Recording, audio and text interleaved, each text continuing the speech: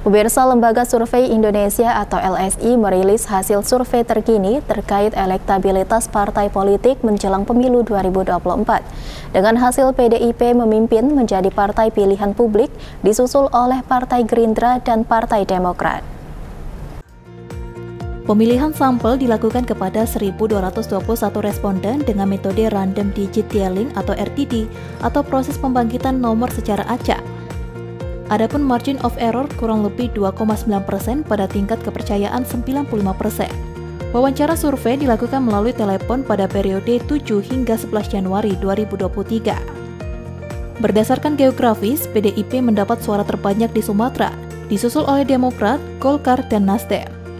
Untuk sementara, dukungan dari segi wilayah, PDIP secara umum paling banyak 16% di Sumatera, namun Gerindra, kemudian partai lain Demokrat, Golkar, dan Nasdem cenderung lebih kuat.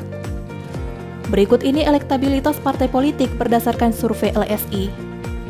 PDIP 21,9 persen, Gerindra 12,1 persen, Demokrat 7,1 persen, Golkar 6,7 persen, Nasdem 5 persen, PKS 5 persen, Perindo 4,8 persen, PKB 4,7 persen, P3 2,2 persen, Garuda 1,3 persen, PAN 0,6 persen, Umat 0,5 persen, Hanura 0,5 persen, Buruh 0,3 persen, PBB 0,3 persen, PSI 0,3 persen, dan Gelora 0,1 persen.